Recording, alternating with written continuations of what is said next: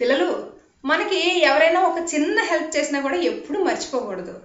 అలాంటిది ఒక చిన్న కథ మీకు చెప్తాను హాన్ చక్రవర్తులు ఉండేవారు. అందులో ఒకడైన పూ అనే రాజుగారికి ఒక ఆయ ఉండేదన్నమాట. ఈ ఆయ ఏదో నేరం చేసిందట. తెలుసో తెలియకో తప్పులు మనం అందరం చేస్తూనే ఉంటాం కదా. సరే వెంటనే చక్రవర్తి ఆమెని విచారణకి పిలిపించాడు. చక్రవర్తి వద్ద ఒక మంత్రి ఉండేవారట. ఆ ముసలిది ఆవిడ ఏం చేసింది? ఆ మంత్రి దగ్గరికి వెళ్ళి ఏం చేయాలో తెలియట్లేదు అందట.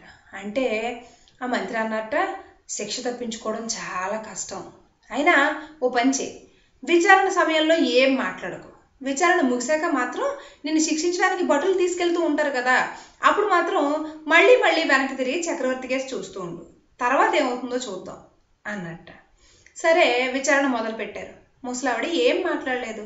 చక్రవర్తి ఆమె చేసిన తప్పు చూ విని శిక్ష విధించారు. శిక్షించడానికి భటులు తీసుకెళ్ళడం మొదలుపెట్టారు. తీసుకెళ్ళడం మొదలుపెట్టిన తర్వాత నడుస్తూ ఉండగా ఆమె మళ్ళీ మళ్ళీ మళ్ళీ మళ్ళీ తిరిగి చక్రవర్తి కేసు చూస్తుందట ఆమెను చూసి విదూషకుడు అన్నట్ట అంటే మన మంత్రి అనమాట నీకు ఏమైనా పిచ్చా ఏమిటి?